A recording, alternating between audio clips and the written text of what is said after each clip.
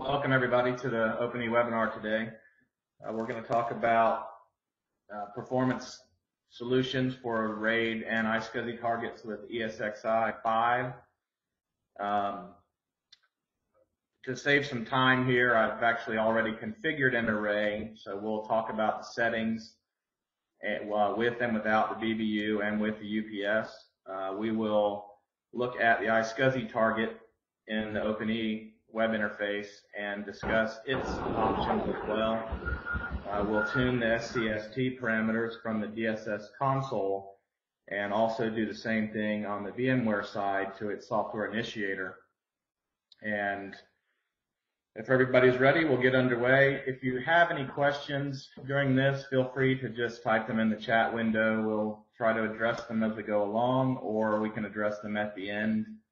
Um, and as a reminder, this is once again voice over IP and the NetViewer session only. There's no teleconference number for this one.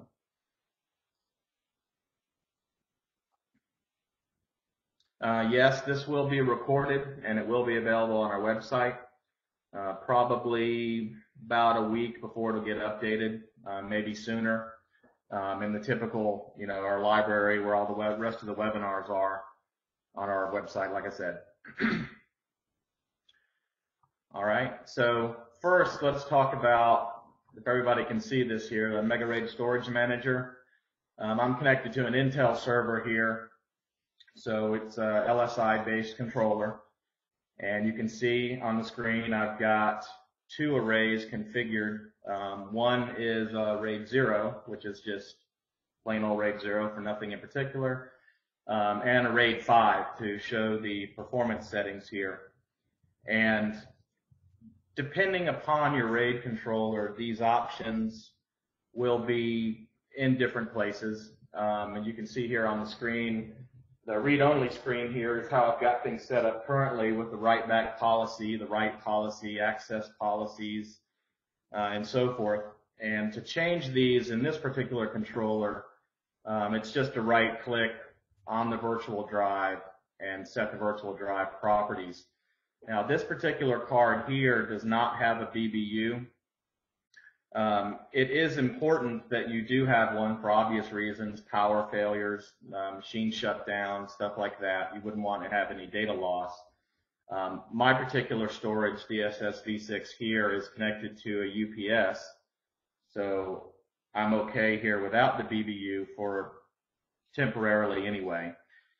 Um, the read policies on the array, as you can see here, there are only two options on this particular controller, no read ahead or always read ahead. Um, some of them have the option of adaptive. Um, always read ahead is what we've seen performs better. Um, if you only have the adaptive option, then that would be the one you'd want to choose. Um, the write policy is write back with BBU or always write back. Um, in my case, I can choose always write back. I have no BBU, but like I mentioned, I have UPS here. So some sort of fail safe here is of course what you want to do. IO policy would be cached IO. Um, access policy, of course, read write. Um, the local disk cache policy is enabled in this case. This gives us the ability to take advantage of caching throughout the system. And we'll talk about target caching here momentarily as well.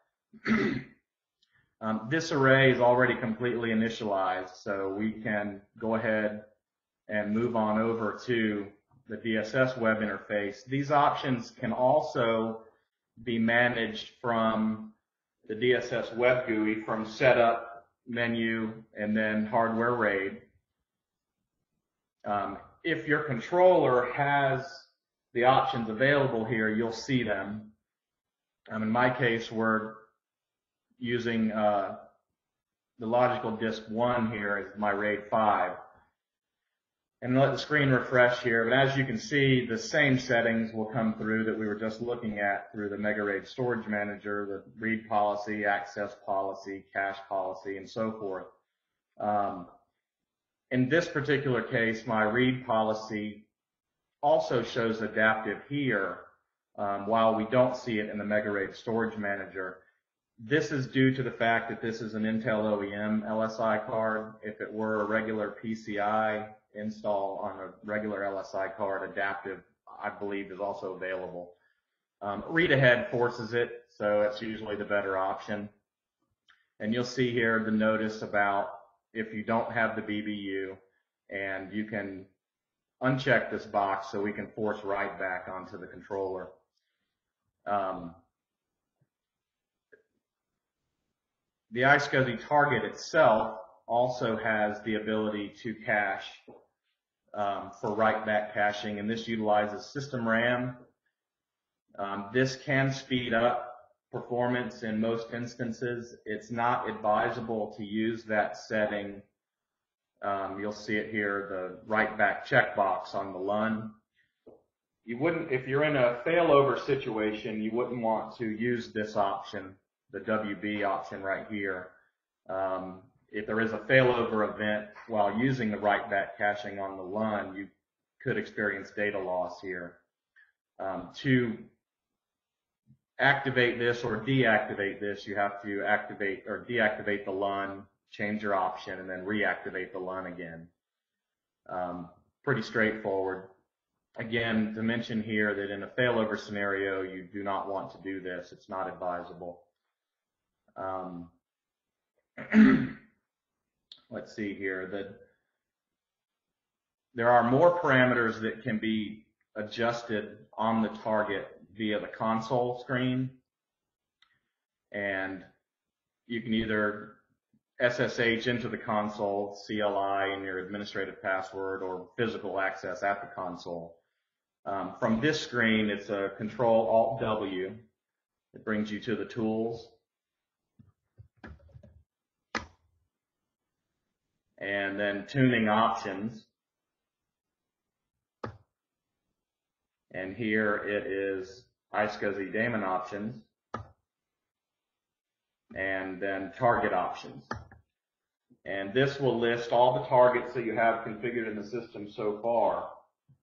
You choose a target here, and then you're brought to the list of parameters that can be adjusted here. What you're seeing on the screen right now are the default settings. Um, each one of these can be adjusted to higher values or different values, and the same thing can be changed on the VMware side. Um, these parameter changes that we're going to go through here, it's a good idea to always make the same adjustments on the initiator. Uh, if you don't, the system will honor the lowest common denominator in the in the iSCSI connection, and if the initiator has lower values, those are the ones that will be adopted regardless of what you have put in here. Um, we know that this works very well with VMware. It works well with Xen, Hyper-V. Um, Microsoft doesn't have these same options, although you can change some of them here and they are honored on the Microsoft side because it will take the default broadcast options from the target in some respects. So what you want to do is select the option you want to modify here. Um, click enter and it gives you the ability to change this. Now, like I said, these are the defaults and we're going to change them to what we feel is nice maximums here to use for performance. So the data segment length, we can actually change this to 262144. All right, and then just apply that. And you'll notice here that this will reset the iSCSI connections from the initiator on each change here. So doing this would either require scheduled downtime or pause the hosts. Um, it's not unusual to go ahead and bring the host down so that you can make changes on the storage side as well as the initiator and then just reconnect. Um, in my case, it's connected right now. I don't mind if it resets. VMware 5 has a tendency to hunt until it finds it again, so we're okay. I don't have this in production, so not worried about I.O. at the moment. So we'll make that change, apply it. It'll restart the SCST stack. Okay, you can see confirmed success. And now we can go on and change the rest of them here. Max burst length, let's see, that's going to get considerably larger as well. What we're doing here is changing packet sizing, queue depth, etc., stuff like that to kind of open up the flow here a little bit. This can go to 167.76192, uh, quite an increase over the default. Apply this one as well. Give it a second to update here.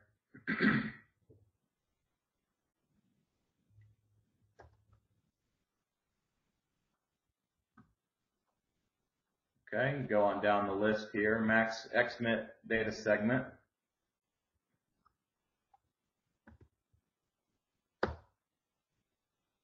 And this can go to 262144 also.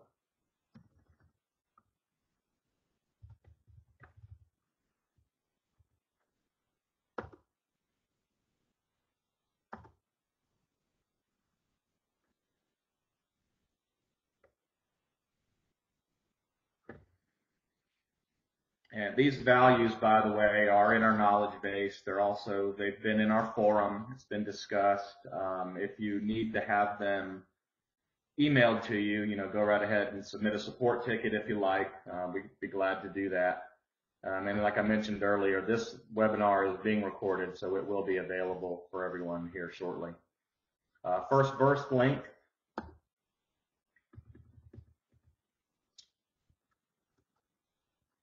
65536.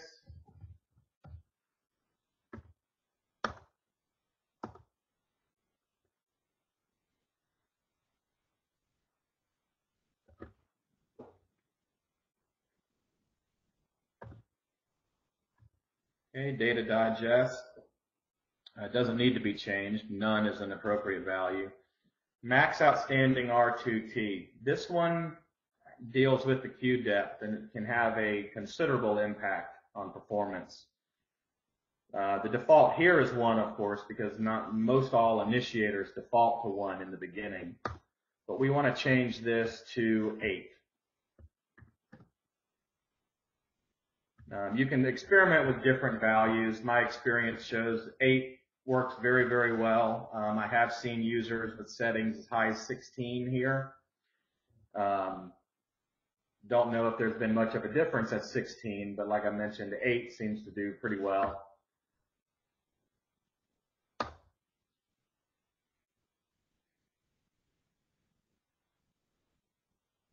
And confirm this and let it update as well. Initial R2T. This one we actually want to change to no.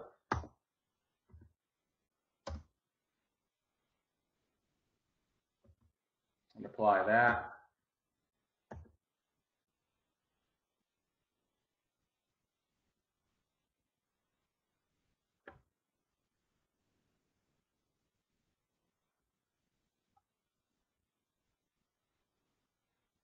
And I can see if someone's asking here, are there similar settings for the fiber channel?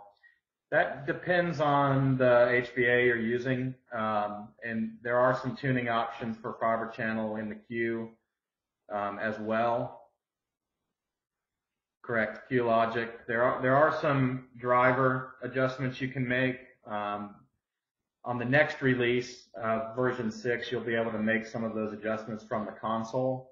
Um, some of the adjustments are already set to the maximum for fiber, and then they can take place. The adjustments can take place on the initiator side. That's when it's in target mode. we will probably do a separate webinar to deal with uh, performance issues and fiber channel as we move forward. Okay. Immediate data. Uh, we want to change this to yes.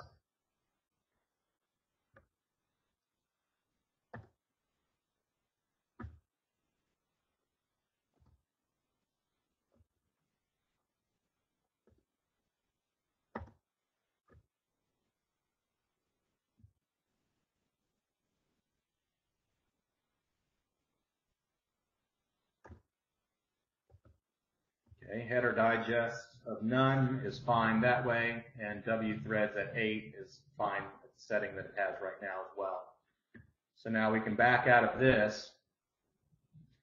And in this case, the target I'm, we're dealing with here is DSS source.target1. Um, typically, you would adjust all of your targets so that they all have the exact same settings because the initiator would be the same um, depending upon how you're using VMware. Um, in my case, I'm attaching the data stores at the topmost level instead of at each individual virtual machine. So they would be adjusted in only one place. Um, VMware 5 has ability to adjust each data store independently, but the other option is to take the parent settings of the initiator and just spread it across each connection, which is what I've done here. Okay, back out all the way to the beginning here. Now, if we take a look at the vSphere side, VMware side, um, you can see I've got all my targets are attached and we want to adjust the initiator here. And this is the same in ESX4 and 4.1 and 5. Um, the options are still here.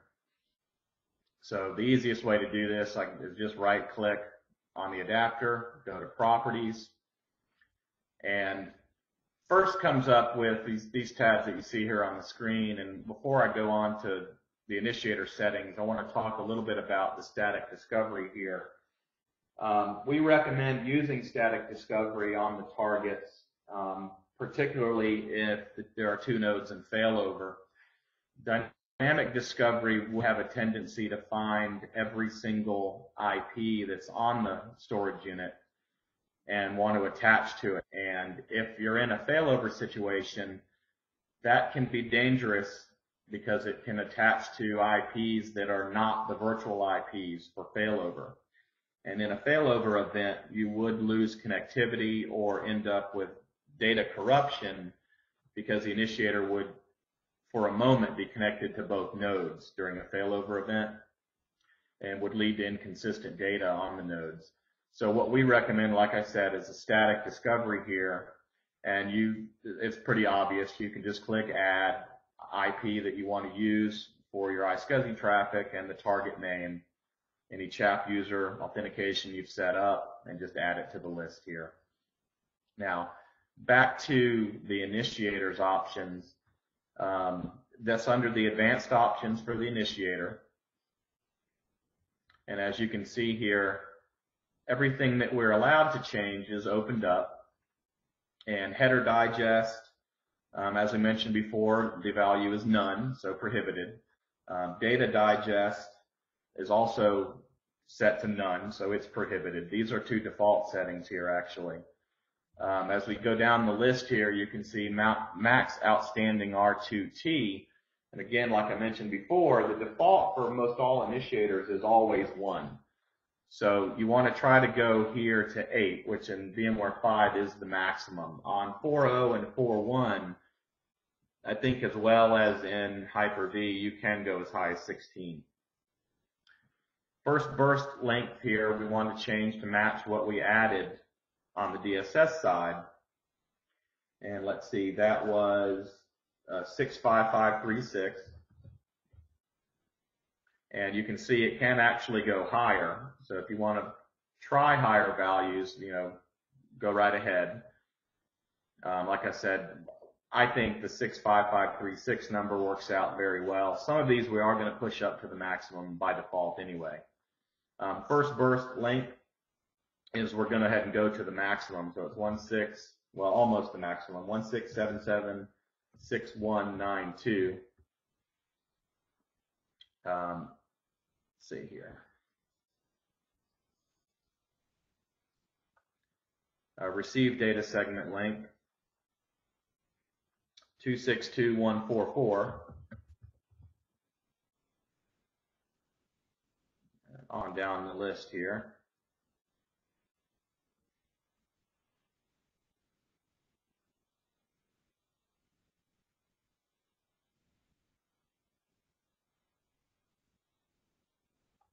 And you can see here that the immediate data is already set, initial R2T is already set, and these of course already equal what we have on the DSS side. The delayed ACK option here allows VMware to wait for acknowledgement from the storage side instead of looking for it immediately. So this allows for some flexibility on, on the stabilization of the connection. So we can OK out of that, close out of the advanced options. And here all you got to have to simply do is just refresh it and it takes on these settings automatically. There's no need to disconnect from the data store and reconnect. if you're concerned if the options are being applied, you can see that if you download the log package um, from DSS v6, you can look at the dmesg logs and see the connectivity and what values are being used. Um, the fastest and easiest thing to search for there is the max outstanding R2T value of 8. And you'll see the rest of the parameters that are being pushed through there. And to get the logs, status hardware, and you can download the log package right here to double check if you'd like. As I mentioned earlier with the BBU options and the UPS, you can see here I'm connected to a UPS system so that the forcing the write back on the RAID controller I'm okay with on this machine. And do we have any questions?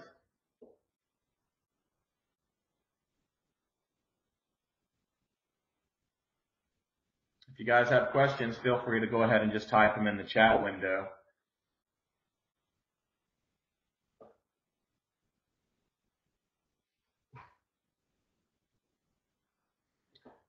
Yeah, I apologize for that. We didn't, I didn't use the teleconference line on this one. It was voice over IP only. Um, apologize for that, but you will be able to download it Um, when there are two SANs in failover here, you would want to make these adjustments on each SAN um, before there is a failover event. So you'd want to take them down and make all these adjustments equally between the two nodes.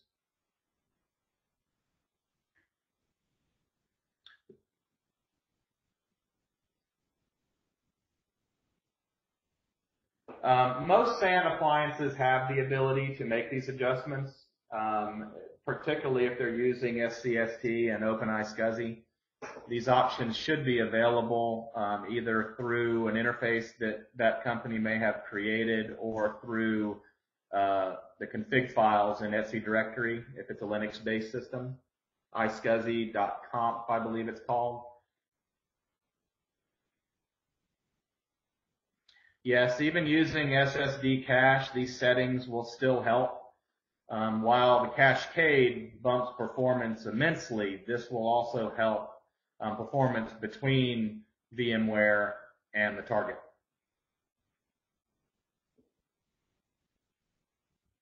The specifications of this storage is uh, LSI RAID controller, no SSD cache, uh, and RAID 5, just about, just over three and a half terabytes at the moment.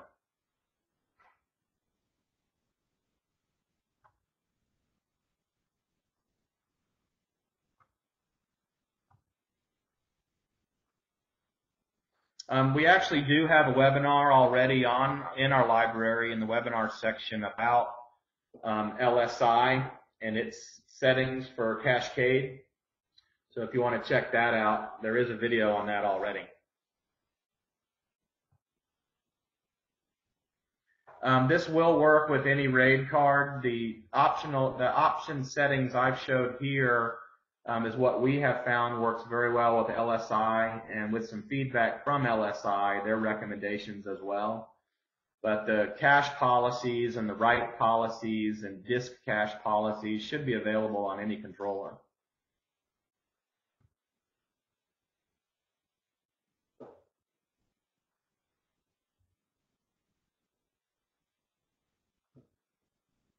The uh, RAID card that's used here is not terribly relevant to the SCST and target tuning values.